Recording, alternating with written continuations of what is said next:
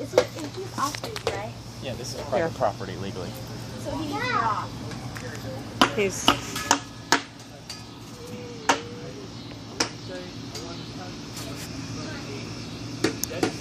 Um, you're off duty, so you don't need to be on my property. I was on duty.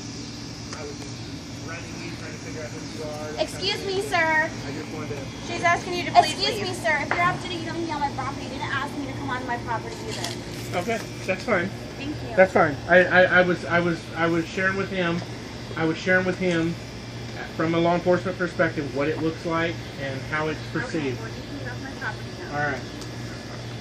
Because I have friends that are cops too. Well, that, that's great. Thank I'm, you. I'm a deputy, in case you're wondering. No, that's fine. And your name, so I can call your officer? What is it? No, you're saying you're a deputy. name? What is Come your onto my property. What is your name? Give his Get license his plate. license plate. That's my